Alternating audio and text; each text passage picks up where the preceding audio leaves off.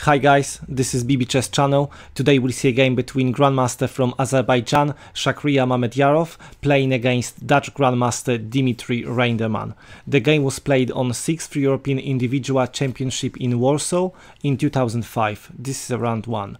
I decided to show you this game as there's a very weird and interesting story behind the game. Mamedyarov white, Reinderman black. Let's have a look.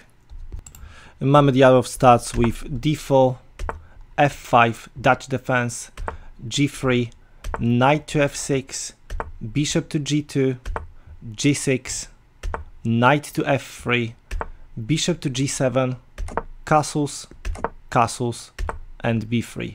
Reinderman plays d6, bishop to b2, queen to e8, c4, and knight to g4 and this is inaccuracy as better was for example c6 or just simply developing your pieces. h3, knight going back to h6, knight to c3, e5 attacking the center, so d takes on e5, d takes on e5, and e4. And black f4.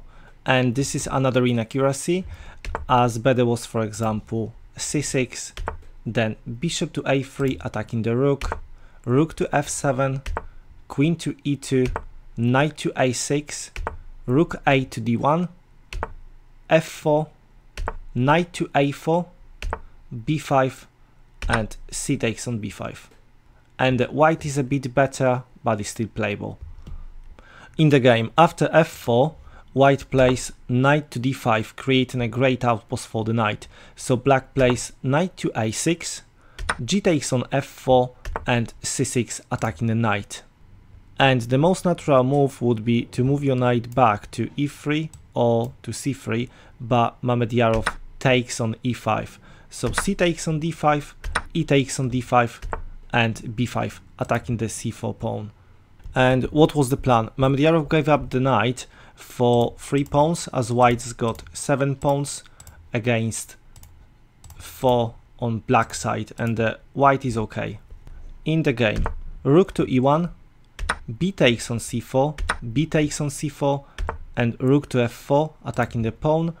So queen to c1 defending the pawn and also attacking the rook, queen to f8 defending the rook and e6.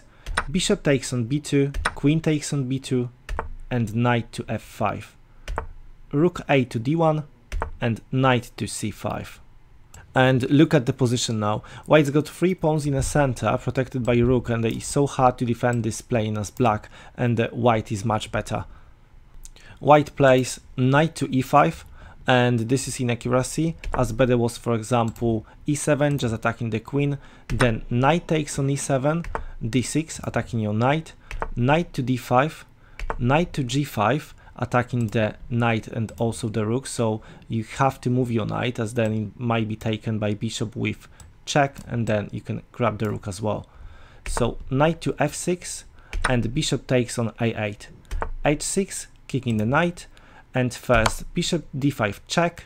So knight takes on d5 rook takes on d5 pawn takes on g5 and rook takes on c5 and the white is much better in the game, after knight to e5, black plays bishop to b7, and now your bishop is under attack and uh, it's protected by your knight from c5, so white plays knight to d7, attacking the queen and also attacking the knight, so knight takes on d7, e takes on d7, and rook to b8, defending the bishop. And Mamedyarov plays d6, and this is not the best move. Better was, for example, queen to e5 attacking the rook, knight to d6, c5 attacking the knight, rook to d8 attacking pawn on d7, c6 protecting the pawn and also attacking the bishop on b7, bishop to a6, queen to e6 check, rook f7 blocks, queen to e3 going after a7 pawn, bishop to d5 and queen takes a7 and white's winning.